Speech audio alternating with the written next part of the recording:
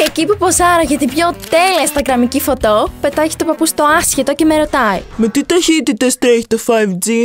Πού να ξέρω τώρα, ρε παππού; Γιατί, ξέρεις εσύ με τι ταχύτητα τρέχουν τα γαϊδούρια στο χωριό, τον ρωτώ. Η Ζαχάρα του Κυρνίκου με 6 χιλιόμετρα την ώρα. Και ο Πίπς του Κιλάμπρου με 6,5. Μου απαντά. Παππούς, εγώ ένα μηδέν. Και πάνω που ετοιμάζομαι να πάρω τηλέφωνο τη ΣΥΤΑ για να ρωτήσω για το 5G, πετάγεται πάλι ο παππούς. Οπ, εκεί είσαι ακόμα. Υπάρχει και πιο εύκολος τρόπος. Όπα, παππούς στον κονή 2-0. Online εξυπηρέτηση από τη ΣΥΤΑ. Λύσε άμεσα απορίες μιλώντας online με έναν λειτουργό εξυπηρέτησης μέσω Facebook Messenger, Twitter και Live Chat στην ιστοσελίδα της ΣΥΤΑ ή μπε στο YouTube channel του ΣΥΤΑ Support και μάθε από τα how-to βιντεάκια.